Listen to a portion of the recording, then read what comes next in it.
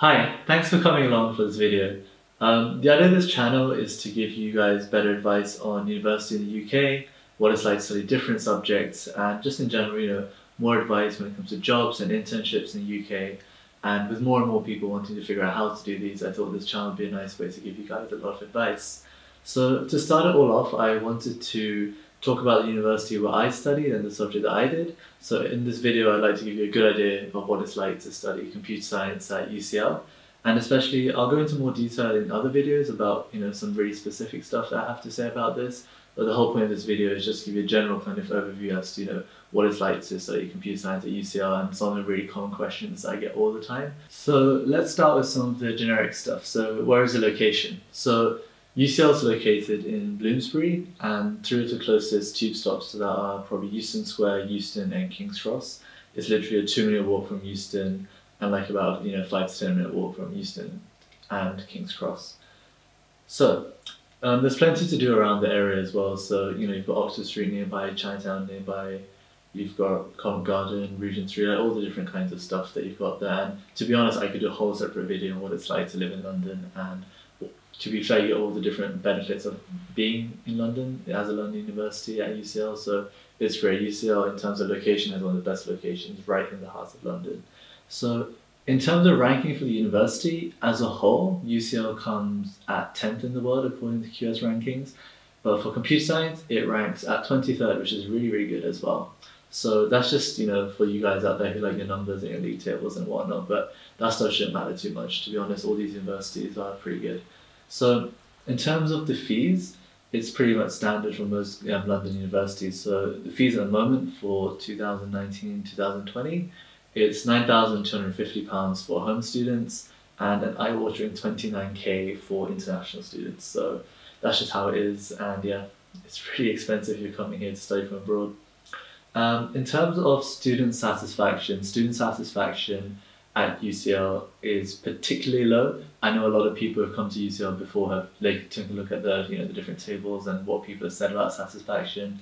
And you know all the different universities might be here, and then it's literally just UCL. You see, it's all the way down here. So a lot of people tend to ask, you know, does it really matter? I used to think before I went to UCL, maybe people are being too picky. I don't know why it's so low, and I kind of just like put it on the side.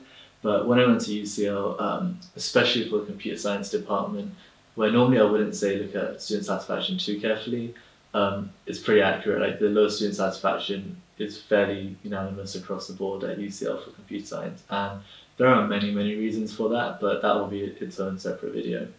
So moving on, um, what were class sizes like? So when I was starting my first year at UCL, class sizes were about it started around 200 odd so that was a lot more than we expected we normally expected about 150 people but for my year it starts at 200 um, people.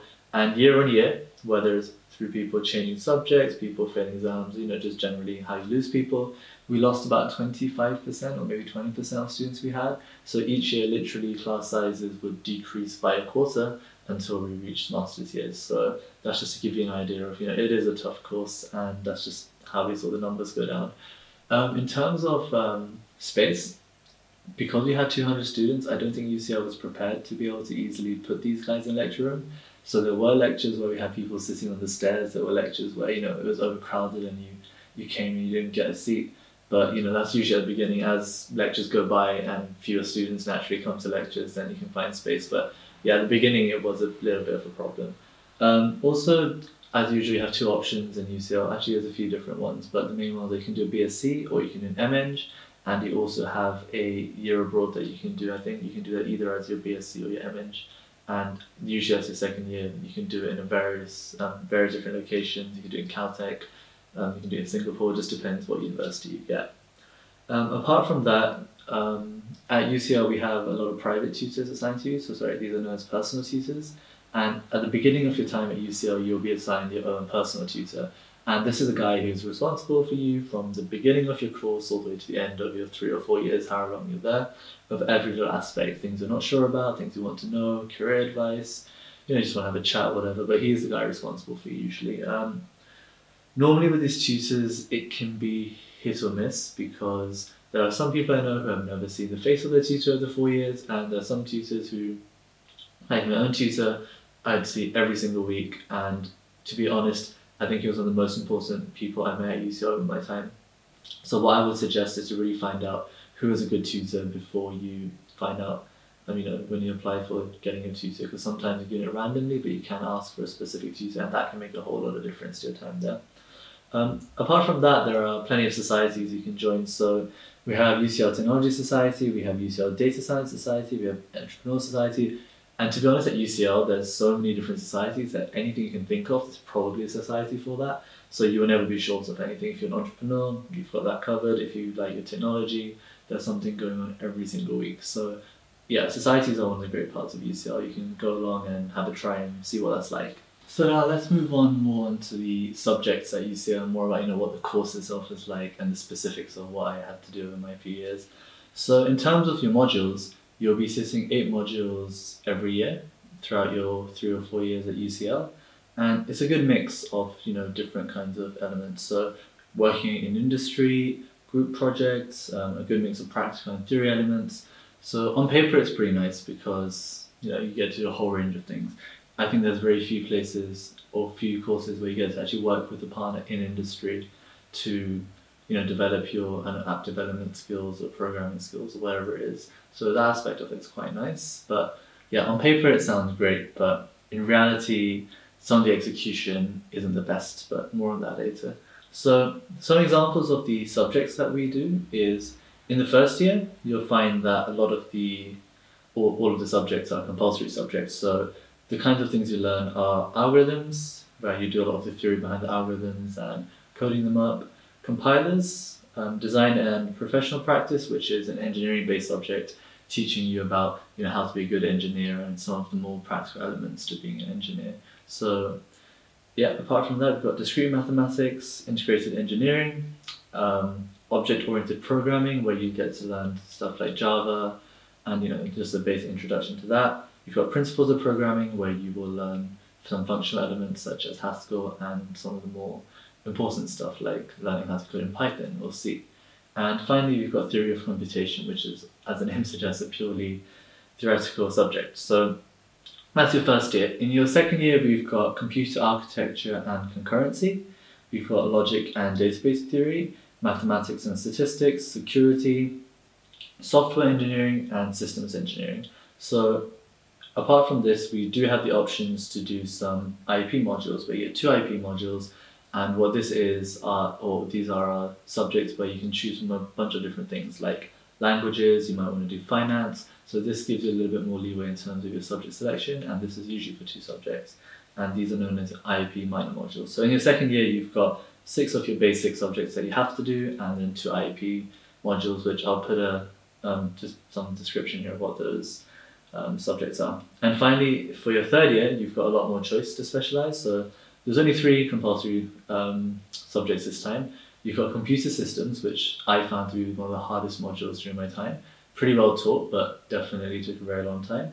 You've got computability and complexity theory, and you also have an individual project, unless you're doing um, your dissertation, in which case I think the dissertation takes over from the individual project. And if you're doing a four-year degree, then you do your individual project in your third year, and then during your fourth year you have um, your dissertation. And apart from this, everything else is chosen from a bunch of your IP modules. And you can also choose some other modules such as artificial intelligence, computer graphics, database systems, functional programming, image processing, interaction design, network systems, and a lot. So there's a lot of choice you can do there. And for your fourth year, you have your dissertation, which, like we said, counts for two modules, and if you choose whatever modules you want. There's no compulsory modules there. So yeah, that's kind of like the options that you've got there. I'll put um, a list of the subjects you can choose from and you can see what you fancy. But to be honest, they've got quite a good range. If you're into finance, there's a lot there. There's some stuff around music processing, imaging processing, graphics, security. So there's plenty to do, and especially in machine learning and AI.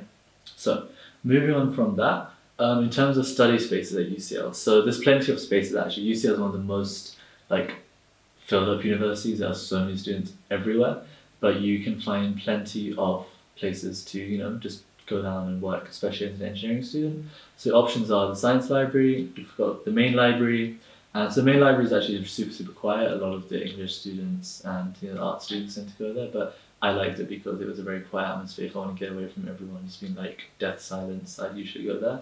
The science library is a bit more, you know, active and a bit more alive, I'd say. And I used to go there when I needed to have those long nights at library with, you know, a bunch of snacks and your coursework and just going through the night. So it's pretty good for that. Um, there's also the anatomy building, which is open during the day. It's just a nice place to go out with a few friends. There's labs, which a lot of people didn't usually like because you know there's no windows around and it's just a, bunch of computers. But we spent a lot of time in labs because normally when other places were full, labs would tend to be empty, so we could have that spot. Um, there's the engineering building itself. There is IOE, which is like a five minute walk from UCL, which has a ton of spaces. To be honest, I never actually went there. Um, the canteen is pretty big as well. Actually, you can study there sometimes. But yeah, there's many options, so you always find somewhere to study. So yeah, that's just some of the places around UCL if you want to work. In terms of exams, so how your exams go depend a lot on the subjects that you pick. So in terms of the compulsory modules that you do, the first two years you'll probably have quite a few exams. So like I said, there were eight modules. You might find like six to eight of them might have um, exams. If there is a coursework element, they tend to be fairly small. So they tend to be like 25% to 30%. So that's your first two years. But as you go towards the latter few years in your third and your fourth year, you can choose subjects which are purely coursework based.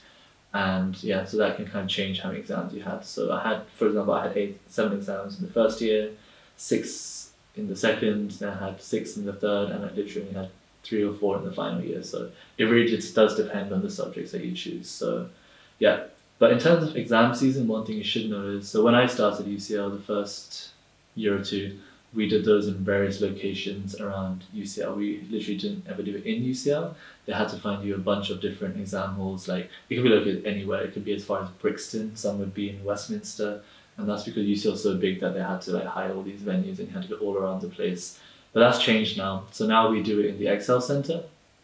So that's found like on the DLR line somewhere. You take um, a train from North Greenwich on the DLR to get there, and I think it's Custom House. But the problem with that was is that you have a huge hall, and you literally have fifteen to twenty exams going on at the same time. So for those of you who've been to Excel Arena, you'll know like it's like a huge kind of center where you have these huge rooms with the whole events. And if you imagine the whole place is full of chairs and students, and you have fifteen to twenty exams at a time. Personally, I didn't really like that and also an oversight might have been that it's located near an airport. So every time I do my exams, every five minutes, I can just hear the sound of an airplane going over my head, which some people can find really off-putting. So, and also the location is quite far away. But after a while, you kind of get used to it, and it's kind of nice having all your exams in one area. So personally, I didn't mind too much, but you know, if you don't like the idea of having tons of people around you in an exam rather than one hall just for you guys, then you know, be prepared for it. Um, apart from that, well, the department is its own separate video, to be honest. Um, I'll do a video on this later. And to be it's not the best organized department. Obviously, there are you know a few, few good lecturers here and there, but as a whole, like I said, student satisfaction does stem from the low, or it stems from the department not being the best.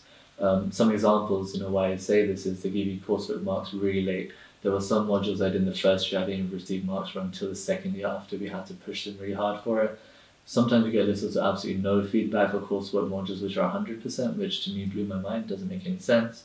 Some of the lectures are a bit rude, and it can be hit and miss. Like, sometimes you have courseworks which are released like, I don't know, five, six weeks late, and marks will return like two months, three months later when we're kind of waiting for exams. So I think these are kinds of things that people really care about. What is like when you actually get there? What is it like with the department? How flexible are they? And this is one of the main points that really put me off UCL in terms of the computer science department. Despite all the good stuff it had, this stuff was really, really bad about them. And if in hindsight I knew this would have been like, I would have actually rather gone to a different university. But you know, more on that one later. That's going to be a good video.